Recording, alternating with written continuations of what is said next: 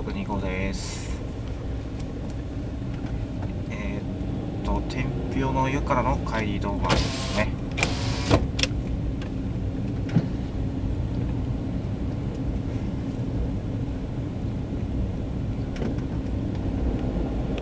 とまたお約束なんですが、まあ、柏台ビッグの方まで、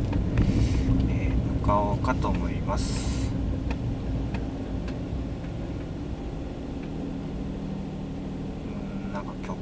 てるんです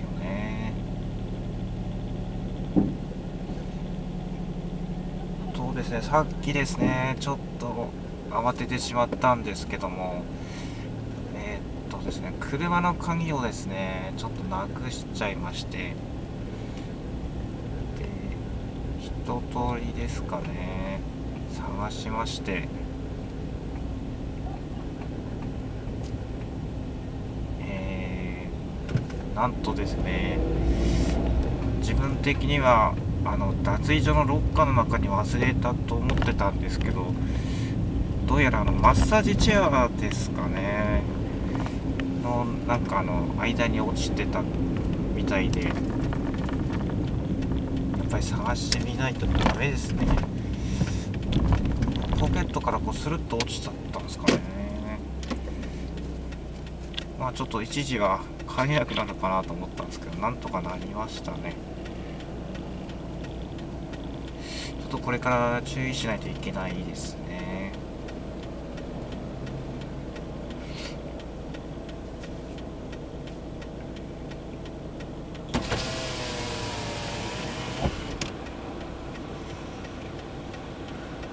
えー、っとですね今朝来る時結構寒かったんですけどー、っとですね。今12度くらいまで上がってきましたね。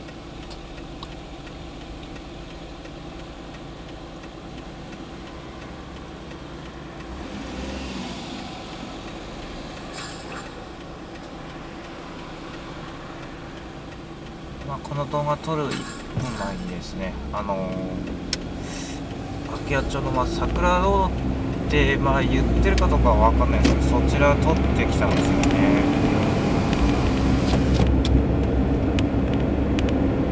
まあなんとか帰れますね。ちょっとですね車の鍵がないっ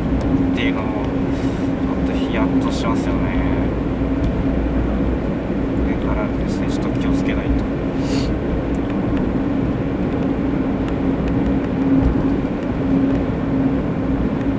ちょっといつものように、まあ、ちょっと遅めの、まあ、昼飯ですかね。ちょっと、まあ、食おうかと思うんですけどね今日は信号が引っかかっちゃいますね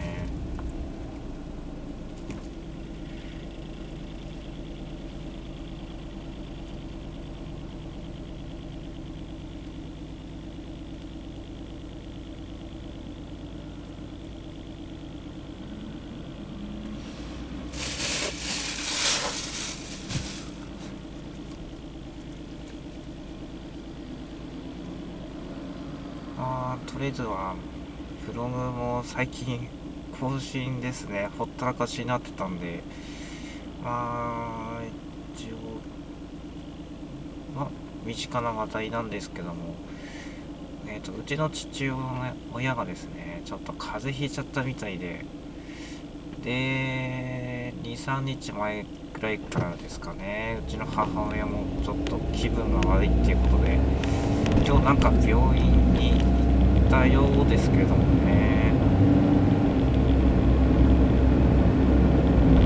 まあ、自分は今のところは風邪はひいていないのでなんとかですかね。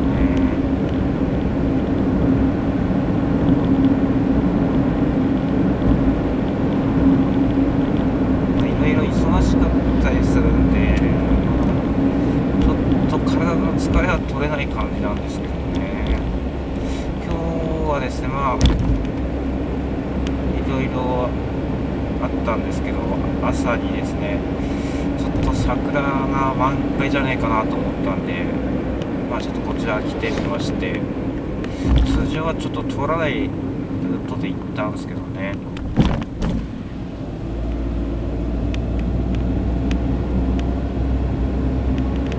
まあ1月20日なんですけども結構満開でしたね、まあ、久々に、えーと、桜ロードのやつはですねちょっとニコニコ動画にあげようかとは思ってるんですけどね、まあ、一応あのー、YouTube の方にもあげる予定ではいますけども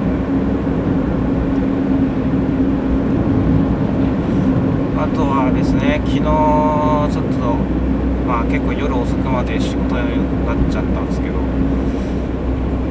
まあ昔と言いますか過去の書き込んだ内容ですかね。プログラム書き込んだ内容を見てたんですけどまあ自分も言うのもなんですけどいろんなとこ行ってなっては思ったんですけどね。まあ車買い替えてからですかね。この車に買い替えてから結構いろんなところに、まあ、行くようにはなったんですけどね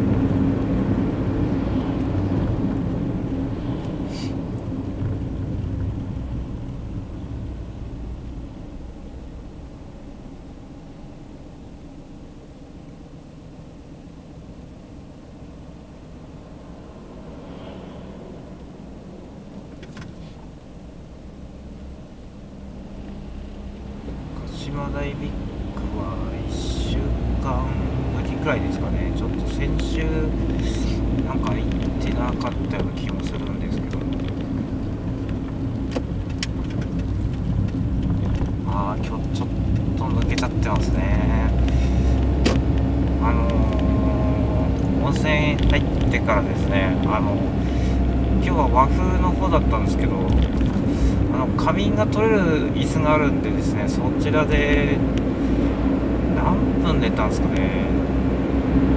ちょっと時間見ないで寝ちゃったんですけどなんか結構長い時間寝ちゃったもんでまあ頭がちょっとぽやんとしてた状態でですねちょっとマッサージチェアに行ったもので。でなん、まあ、マッサージチェアでもですね、まあ、15分間なんで15分間寝ちゃったんですよね。それでなんか車の鍵ですかね落としたの気づかなくてそのまま車に行っちゃってですね。ドアノブタッチするとこの車鍵が開くようになってるんですけど開かないんであれって思ってポケットに手突っ込んだら鍵がなくてですねまあやべえって感じだったのでねまあ一応結果的には問題なかったので大丈夫ですね。スペアキーもですね一応保管してた方が良さそうですね。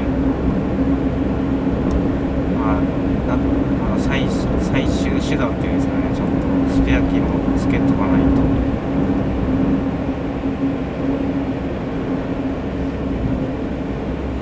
この辺がまあ田んぼなんですけどトラクターでこう耕してますねまあ、ゴールデンウィーク近くなると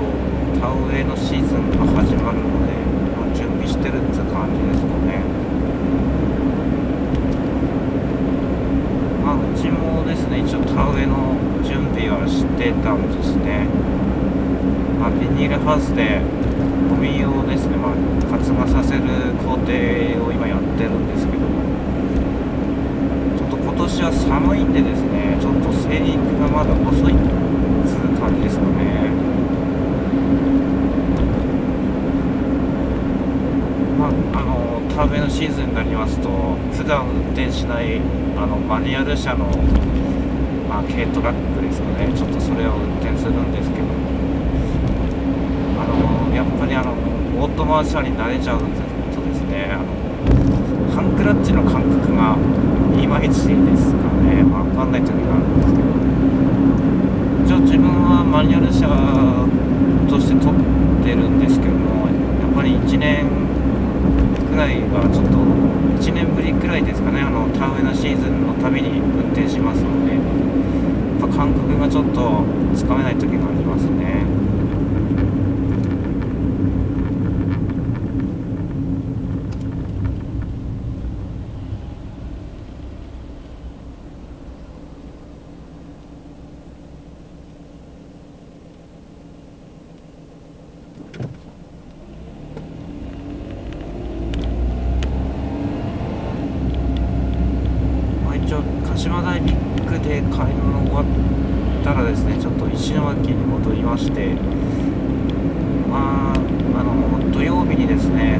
家電量販店の、えーと、広告が入るもんでまあ買うわけではないんですけどちょっと最近ですねあの安いデジカメまた探してまして、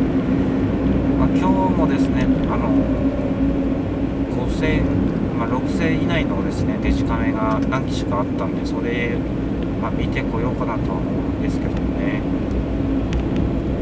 まあ安いの買っても結局あのう一個同じの同じものを買っちゃうんであの安物買いの銭失いっつうんですかねそういう感じになっちゃうんですけど、まあ、見るだけでしたらまただですのでまあどういう感触かなっていう感じでまあ見ては来てるんですけどね。先週のやつはですねあのクールティックスのやつはちょっと乾電池式だったんで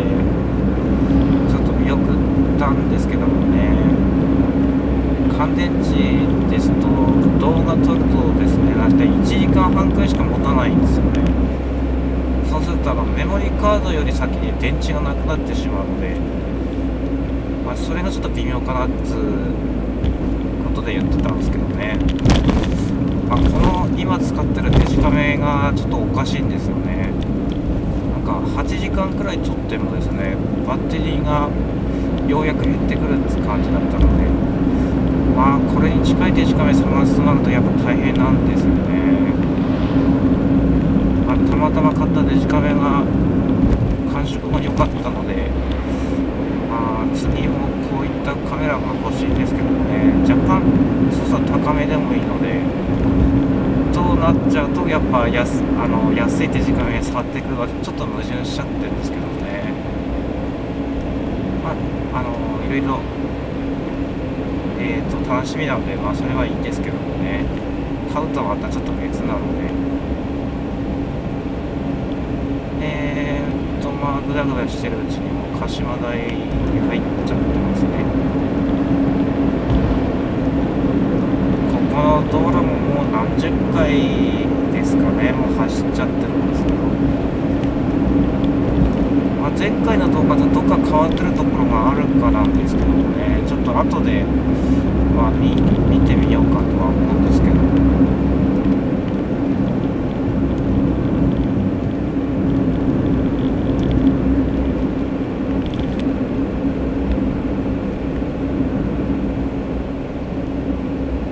まあもう到着ですね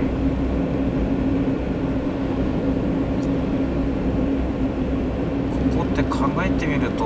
悪夜町から信号が2つしかないんですよまあ2つじゃないですね。もっとありますけど。4, 4つくらいですか。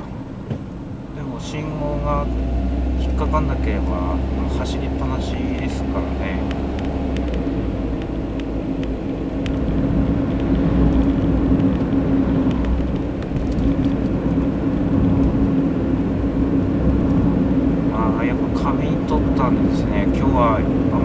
当たりっぽいのは出ないですねやっぱあの湯上がりの後はあの体の熱を取った方がいいんですね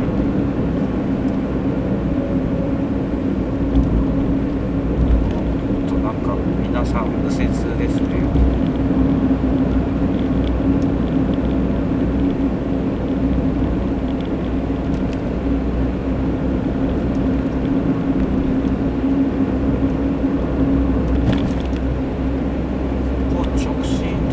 できるようになっ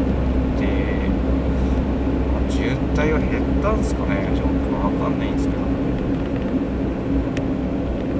ただあの県道60号線からはアクセスしやすくなりましたね。あの前回松島から来た時はすごいスムーズに来れたんですけどね。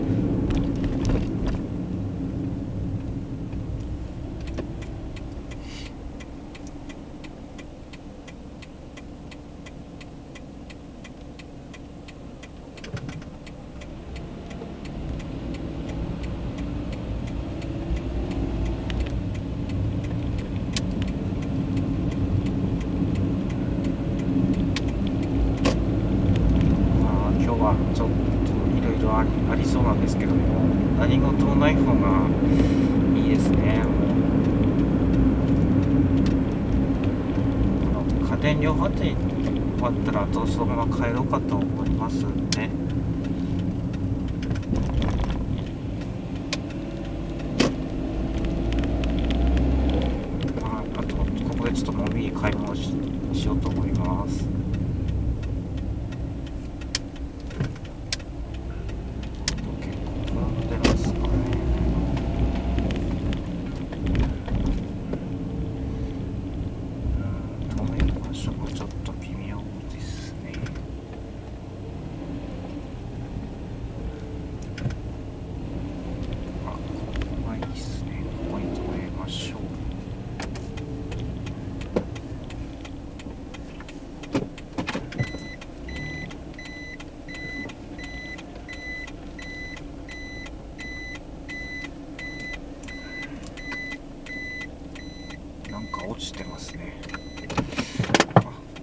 失礼します。お疲れ様でした。